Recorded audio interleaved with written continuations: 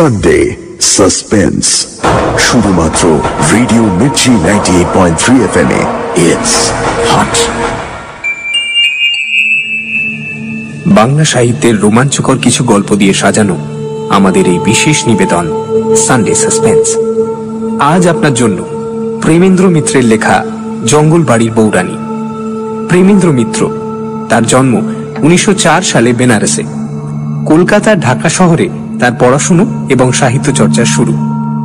কালি কলম, রংমশাল, নবশক্তি, কবিতা এবং বঙ্গবাণী ইত্যাদি নানা পত্রিকার সম্পাদনার কাজ দীর্ঘকাল তিনি করেছেন। সাগর থেকে ফেরা কবিতা গ্রন্থের জন্য আকাদেমি পুরস্কারে সম্মানিত হন তিনি। কবিতার সঙ্গেই লিখেছেন বহু গল্প এবং উপন্যাস। উনিশশো চব্বিশে প্রবাসী পত্রিকায় প্রকাশিত তার ক্যারানি আর গোপনচারিণী গল্প দুটোকে বাংলা ছোট গল্পের আধুনিক যুগের সূত্রপাত হিসেবে ধরা হয়। বড়দের পাশাপাশি ছোটদের জন্য তিনি লিখেছেন নানা গল্প এবং উপন্যাস। তার ঘনাদা চরিত্র বাংলা কিশোর সাহিত্যের একটি অমর সৃষ্টি।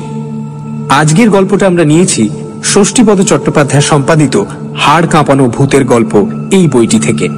প্রধান চরিত্রে লেখক এবং বৌরানী গল্প পাঠে দ্বীপ গল্পের সূত্রধার সোমক। শুরু হচ্ছে জঙ্গল বাড়ির বৌরানী।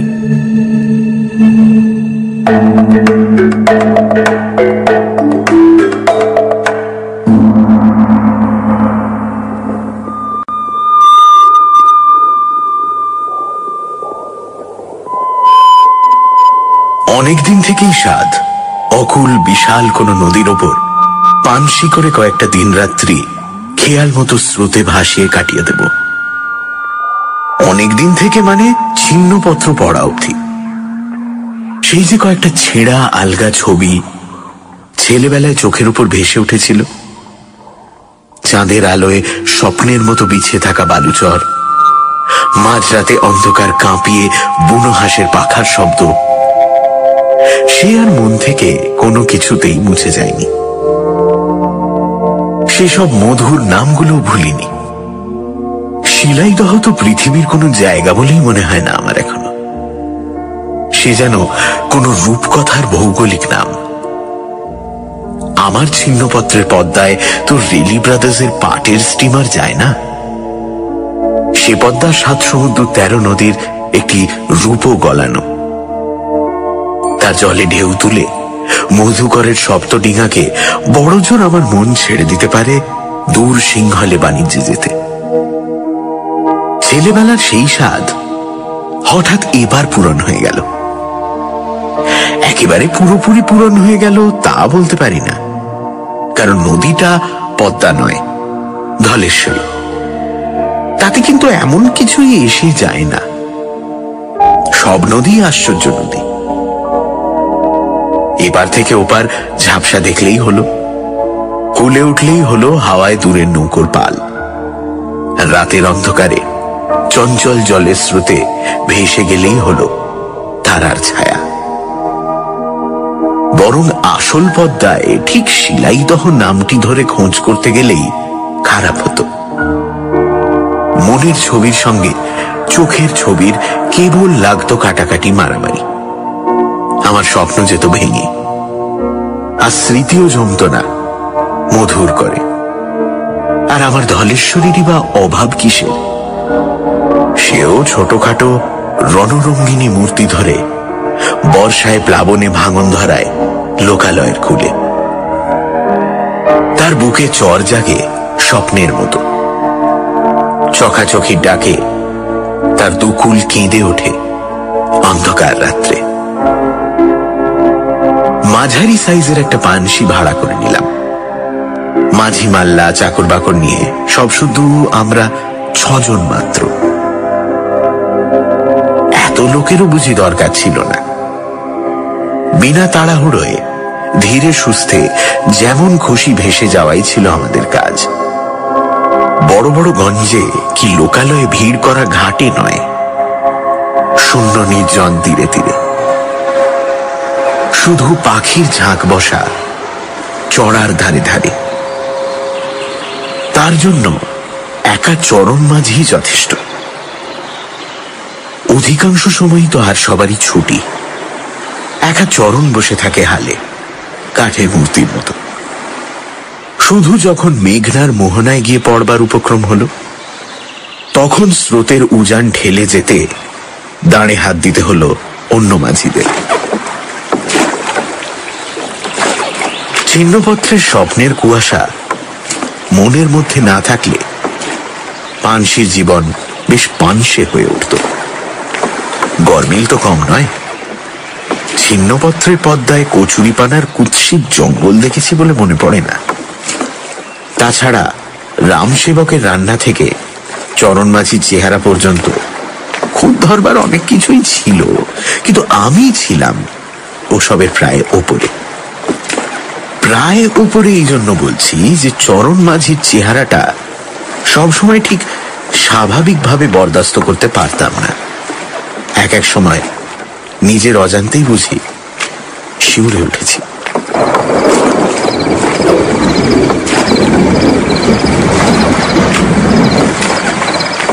যখন মাঝরাত্রে আর সবাই গড়িয়ে পড়েছে পানশির খোলে, আর মেঘ ঢাকা চাঁদের আলোয় ধলেশ্বরী থমথম করছে।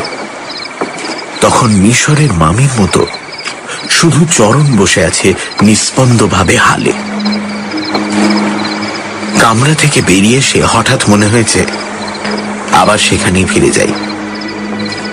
সেখান থেকে তবু অন্য মাছিদের নিঃশ্বাসের শব্দ পাওয়া যায়। তাতেও যেন অনেকখানি ভরসা। সত্যি জ্যান্ত মানুষের এমন অদ্ভুত মরা চেহারা হতে পারে, এ আমি আগে কখনো জানতাম না। রং তার কালো বলে নয়, কালো তো সব মাঝি। কিন্তু তার চামড়ায় যেন অপার্থিব বিবর্ণতা, যেন অনেক দিন মাটির তলায় সে চাপা পড়েছিল।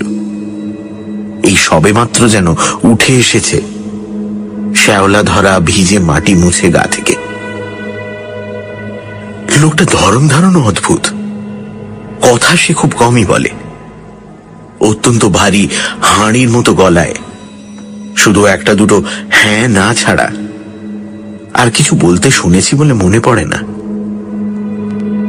অন্য মাঝিদের সাথে তার মেলামেশাও নেই।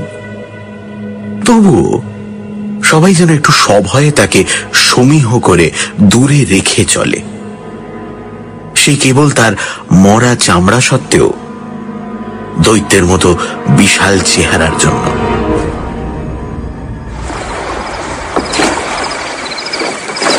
সেদিনও মেঘে ঢাকা ভাঙা চাঁদের মরা জ্যোৎস্নায় চারদিক ছমছম করছে।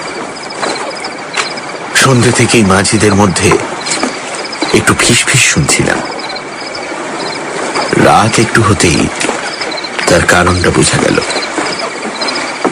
একজন মাঝি সাহস করে এগিয়ে এসে কান মাথা চুলকে আমতা আমতা করে জানালে বাবু বলছিলাম যে যদি অনুমতি দেন আর কি। এটা যদি ছুটি নেই গ্রামে ভালো যাত্রা এসেছে। যাত্রা কোথায় হচ্ছে? হেসে জিজ্ঞেস করে জানলাম খানিক আগে যে গঞ্জ আমরা পেরিয়ে এসেছি সেইখানেই নাকি ভারী নামজাদা এক দল এসেছে। এমন যাত্রা শোনবার ভাগ্য নাকি এতল্লাটে সহজে মিলবে না। আমার মুখের ভাবে ভরসা পেয়ে সে আমাকেও সঙ্গে যাবার প্রস্তাব করে ফেলে এবার। হেসে বললাম, না মাঝির পো আমার অত শখ নেই। তবে তোমরা শুনে আসতে পারো, ইচ্ছে হয়েছে যখন, কিন্তু গঞ্জের ঘাটে তো আমি থাকতে পারব না। মাঝি তৎক্ষণাৎ খুশি হয়ে জানালো ছ্যা, ছ্যা, ছ্যা, ছ্যা, ছ্যা, ছ্যা। আপনাকে কষ্ট দেবনি বাবু। এখান থেকে কতটুকু আর পথ? আমরা পার দিয়ে হেঁটে চলে যাব। যাত্রা ভাঙলেই ফিরে আসব ভোরবেলায়। কিন্তু আপনার ভয় করবে না তো? তা যদি একটু করে মন্দ কি? তা এখানে ভয়ের অবশ্য কিছু নাই। ঝড় জলেরও সময় নয়। নৌকা নোংর বাঁধা থাকবে নিরাপদ জায়গায়। শান্তিতে থাকবে। হঠাৎ কেন যে জিজ্ঞেস করলাম জানি না। চরণ মাঝি যাচ্ছে তো তোমাদের সঙ্গে? যাচ্ছে ওই কি কর্তা? অবশ্যই যাচ্ছে। শুনে কেমন যেন আশ্চর্য বোধ করলাম বলেই একটু লজ্জিত হলাম।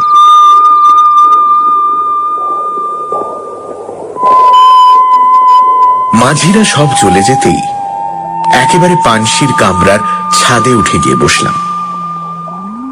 এমন অপরূপ নির্জনতা ভোগ করার সৌভাগ্য কখনো তো হয়নি। মাঝিরা সবাই চলে গেছে। হিন্দুস্তানি ঠাকুর রামসেবক পর্যন্ত সঙ্গে গেছে, হুজুগে পড়ে। দূরে কোথাও একটা দুটো নৌকোর আলো পর্যন্ত নেই। বিশাল ধলেশ্বরীর বুকে আমি একা। কথা ভাবতেও কেমন যেন পুলকের রোমাঞ্চ হয়। পুলকের রোমাঞ্চ কিন্তু পরে সেটা রইল না। রাত্রির নির্জনতায় ধ্যান করতে করতে কখন বোধ একটু ঘুমিয়ে পড়েছিলাম। উঠে দেখি চারিদিকে দৃশ্য বেশ বদলে গেছে। ভাঙা চাঁদ পশ্চিমে দিগন্তে ঢলে পড়ে কেমন যেন ফ্যাকাশে হলদে হয়ে উঠেছে। সেই ফ্যাকাশে হলদে চাঁদের আলোয়।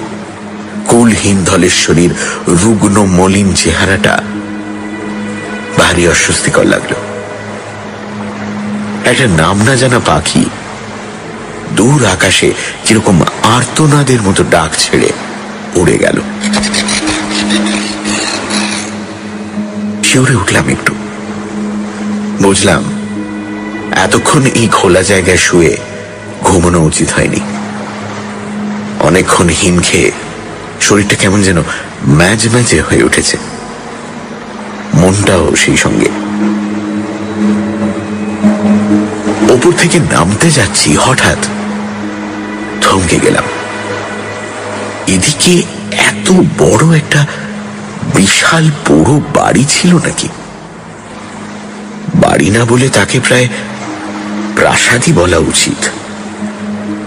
ফাটল ধরা বিশাল দেওয়ালগুলো।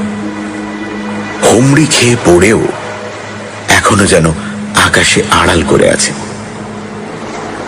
বুঝলাম, এতক্ষণে জ্যোৎস্নার অস্পষ্ট আলোয় এই বড় প্রাসাদ কুয়াশায় মিশেছিল। চাঁদ এখন তার পেছনে গিয়ে পড়তেই অন্ধকারে দৈত্যর মতো জেগে উঠেছে। এই বড় প্রাসাদ সম্বন্ধে কাল মাঝিদের কাছে খোঁজ নিতে হবে ভেবে। আবার নামতে গিয়েও থামতে হলো। পেছনে কি একটা ঝনঝন করে শব্দ হলো যেন। সত্যি বলছি, এবার ফিরে চেয়ে গায়ে একটু কাঁটা দিয়ে উঠল। নিজেকে একেবারে একা বলে জানবার পর হঠাৎ পেছনে ফিরে আরেকটি লোককে অপ্রত্যাশিতভাবে আবিষ্কার করলে। গায়ে কাঁটা দেওয়া অস্বাভাবিক নয় বোধ হয় কি? চরণ? তুমি কখন ফিরলে? যাত্রা দেখতে গেলে না? সে শেকল সমেত নোংরটা তুলে পানসির উপর রেখে গম্ভীর স্বরে বলল, না। সে কি নোংর তুললে কেন? অত্যন্ত অস্বস্তির স্বরে জিজ্ঞেস করলাম। তার এভাবে একলা ফিরে আসাটা আমার ভালো লাগছিল না। সে সামনের দিকে আঙুল বাড়িয়ে দিয়ে বলল, ওই দেখছেন? দেখিনি, কিন্তু এবার দেখলুম। সেদিন রাত্রি শেষে যে অদ্ভুত, অসাধারণ সব ঘটনা ষড়যন্ত্র করে এসেছে আমার জীবনে, তখন তা তেমন ভালো করে বোধ হয় বুঝিনি। পাড়ের ওপর, জলের একেবারে কিনারায়, একটা দীর্ঘ নারী মূর্তি ব্যাকুলভাবে আমাদের হাত নেড়ে ডাকছে। কেও জানো নাকি প্রায় চিৎকার করে উঠলাম বিস্ময়, উত্তেজনায়। হাল ঘুরিয়ে নৌকো সেই পাড়ের কাছে ভেড়াতে চরণ শুধু নিঃশব্দে মাথা নাড়ল। পাড়ে ভিড়তে না ভিড়তে মহিলাটি যেন পাগলের মতো ঝাঁপিয়ে এসে পানসিতে উঠলেন।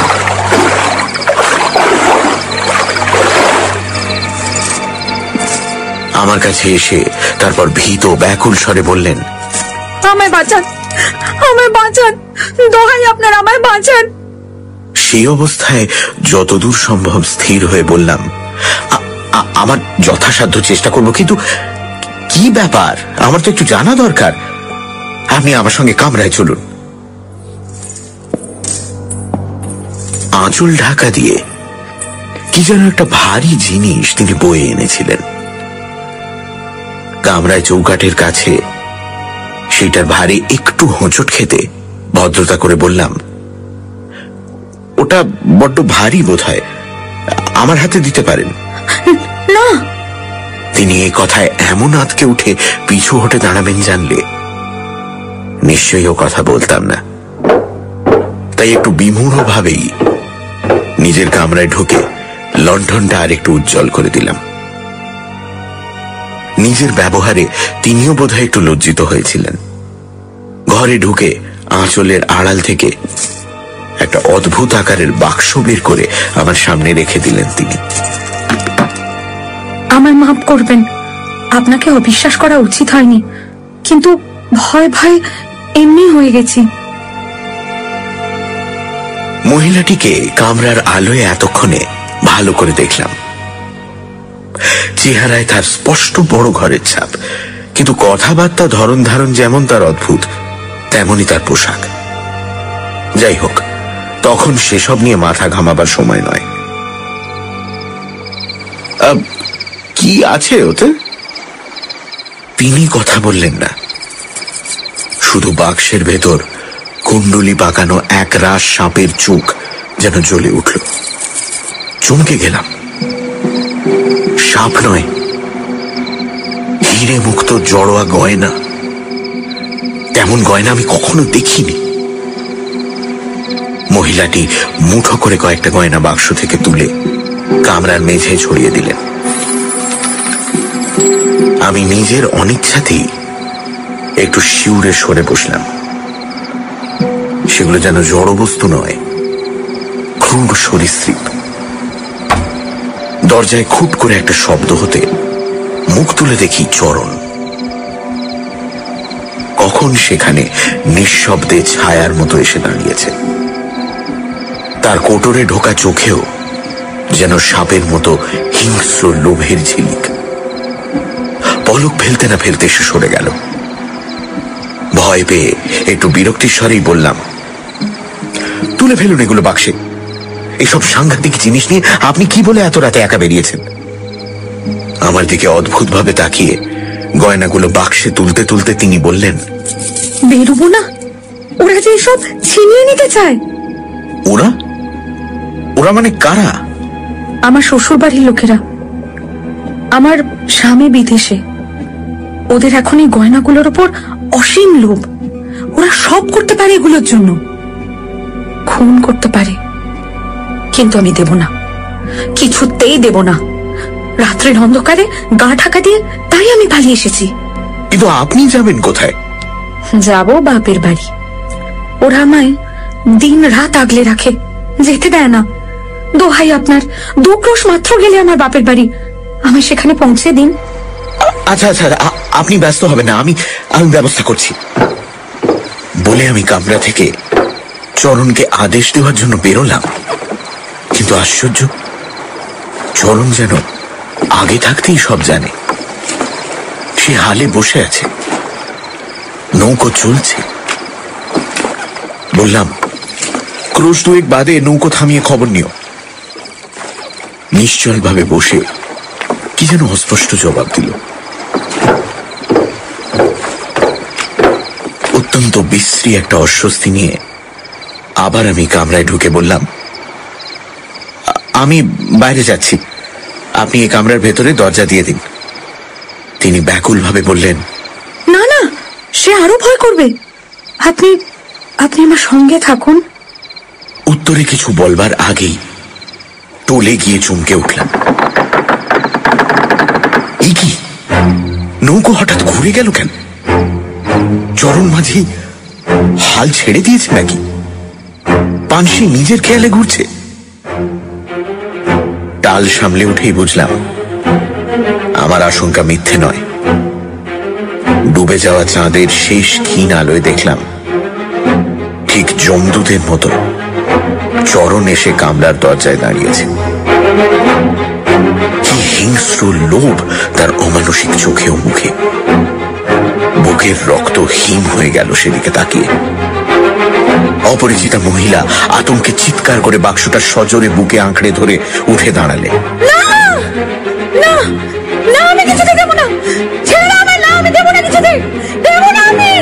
ছুটে বেরিয়ে এলেন বুঝি আমার কাছে সাহায্যের আশায় কিন্তু বৃথা। আমি বাধা দিতে যেতেই সবল হাতের একটা ঘুষিতে মাথা ঘুরে সজোরে পড়ে গেলাম কাঠের মেঝের উপর। মাথায় চোট খেয়ে তখন আমার কীরকম একটা আচ্ছন্ন অভিভূত অবস্থা। চোখের সামনে যা ঘটছে তা দেখতে পেলেও আমার যেন উঠে দাঁড়াবার ক্ষমতা নেই। গলার স্বর পর্যন্ত রুদ্ধ হয়ে গেছে। না আমি কিছুতে দেবো না। ছেড়ে দাও আমায়, না আমি দেবো না কিছুতে। মহিলা প্রাণপণে তার মহামূল্য বাক্সটি রক্ষা করবার চেষ্টা করছেন কিন্তু স্ত্রীলোক হয়ে সে দৈত্যের সঙ্গে তিনি পারবেন কি করে?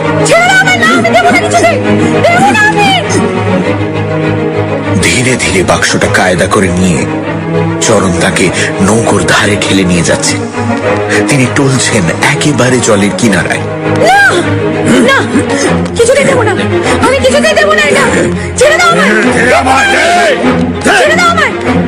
দারুণ হতাশায় শেষ শক্তি সংহত করে তিনি প্রচণ্ড একটা টান দিয়ে বাক্স শুদ্ধ জলে পড়ে গেলেন। সঙ্গে সঙ্গে তার দুশ্মনও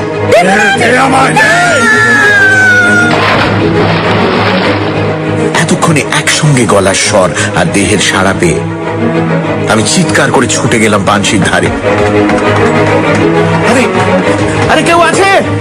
মহামূল্য বোঝায় ভারী সেই বাক্সের টানে দুজনেই তলিয়ে যাচ্ছে নদীর অতলে, তবু কেউ ছাড়বে না তার দখল। আরে কেউ আছে? আরে কেউ আছে? বাঁচান বাঁচান! সাঁতার জানি না। মহিলাটির সাহায্যে ঝাঁপিয়ে পড়েও কিছু করতে পারব না। আমি আবার চিৎকার করে উঠলাম।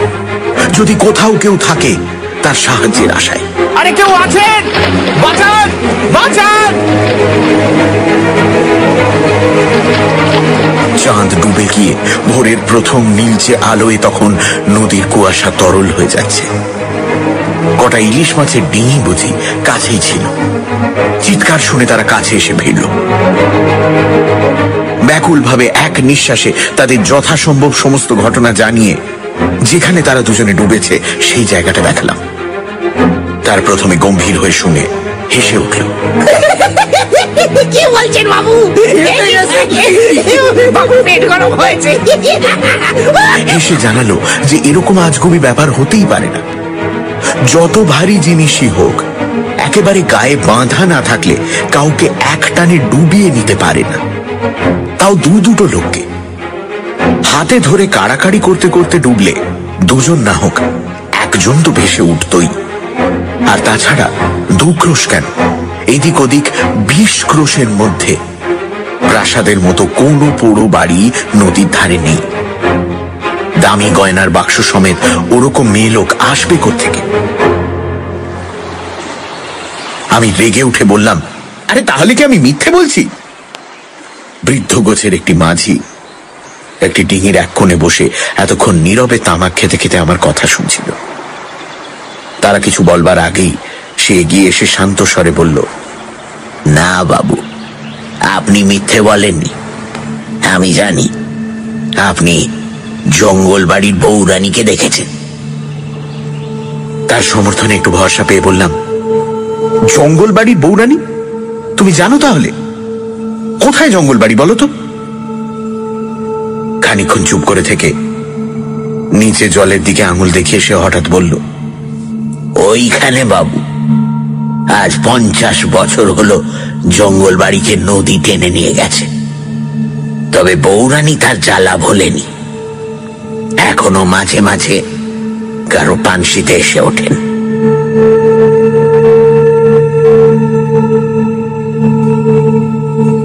জেলেরাই তারপর আমার পানসি পৌঁছে দেয়। মাঝি মাল্লারা যাত্রা থেকে ফিরে ব্যাকুল হয়ে তখন আমায় খুঁজছে। তাদের কাছে জানলাম, চরণ মাঝি তাদের সঙ্গেই ছিল সারা রাত যাত্রার আসরে। বুঝলাম, সব না হয় স্বপ্ন, কিন্তু আমার পানসির নোংর কে তুলল? পানসির ভাড়া চুকিয়ে পরের দিনই কলকাতা ফিরছি। কাজ নেই আমার পানসি বিহারে। আমি ছিন্নপত্রই পড়ব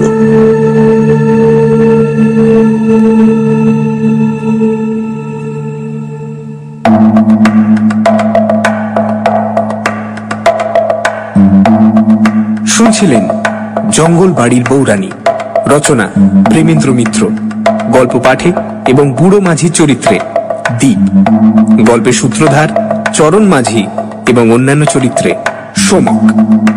বৌরানী শ্রী। শব্দগ্রহণ, আবহ সংগীত এবং স্পেশাল এফেক্টসে রিচার্ড। বিশেষ সহযোগিতায় সোমক। পর্ব পরিচালনায় রাইট ব্রাদার্স থেকে অনির্বাণ এবং অভিষেক। সমগ্র পরিকল্পনা ও পরিচালনায় ইন্দ্রাণী। রেডিও মির্চির তরফ থেকে আন্তরিক ধন্যবাদ শ্রী মিন্ময় মিত্রকে আমাদের পাশে থাকার জন্য। আগামী সপ্তাহে ঠিক এই সময় আরও একটি রোমাঞ্চকর গল্প নিয়ে হাজির হবে সানডে সাসপেন্স।